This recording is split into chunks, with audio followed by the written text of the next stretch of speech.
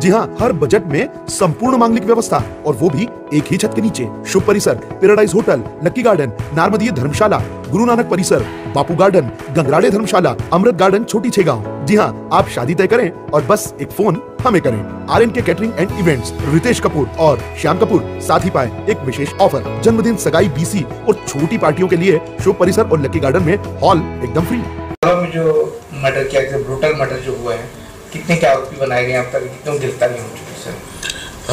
कल दिनांक को खालवा के देवली गाँव के पास तालियाधड़ जंगल में दो बॉडी मिली थी और जिनकी पहचान हुई थी परिजनों ने बताया था कि इनका मर्डर पुरानी रंजिश को देखते हुए किया गया है और उसमें परिजनों के जो उनके कहे अनुसार फिर हमने इसमें तेरह लोगों को इसमें 302 और की धारा में इसमें आरोपी बनाया है और उसकी हमने कुछ उनमें जो नामजद थे उनको हमने अभी अभिरक्षा में लिया है, पूछताछ उनसे जारी है और जैसे साक्ष्य पाए जाएँगे उस हिसाब से इसमें कार्रवाई की जाएगी।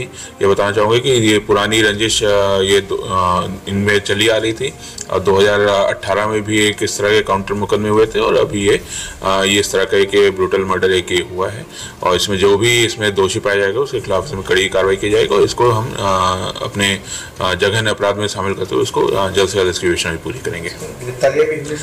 इसमें अभी हमने अभिरक्षा में लिया है करीब सात से आठ लोगों को। उनसे पूछताछ जारी है और जिनके भी इसमें क्लियर हो जाएगा, उनको इसमें गिरफ़्तार किया जाएगा।